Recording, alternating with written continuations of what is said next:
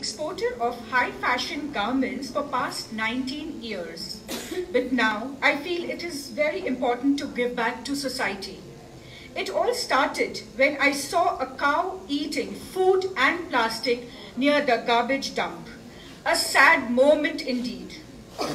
We don't have a plastic problem, we have a convenience problem.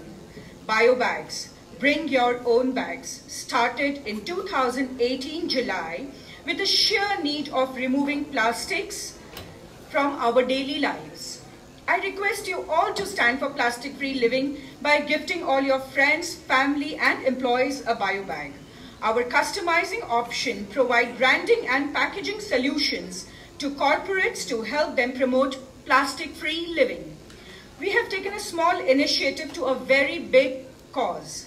Say no to plastic is just not a slogan, it's a way of life. So be the change we wish to see in the world. Thank you.